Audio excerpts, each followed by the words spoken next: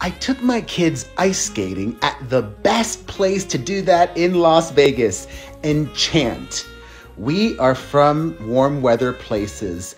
We're not experts at ice skating, but we sure had fun. Enchant is enchanting. Located at the Las Vegas ballpark, they take over the entire stadium and it is a winter wonderland. Look at that. In addition to yummy food that you can eat and the ice skating, you explore this maze and there's even an interactive game that you could play if you want to. I didn't.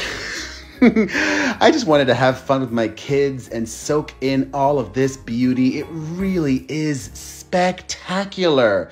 They spend a lot of money on putting up Enchant every year. We had been before, we enjoyed it so much, we went again. It's just a few minutes from the strip, and look at my kids. They were having a blast, and so was dad. Heck, it was so magical, they even made it snow. Look at that. Snow. Enchant, we will be back next year.